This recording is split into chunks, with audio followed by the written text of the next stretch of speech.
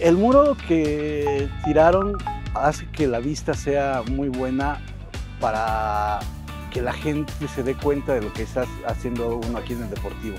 Creo que es seguro para, para uno como, como, usuario.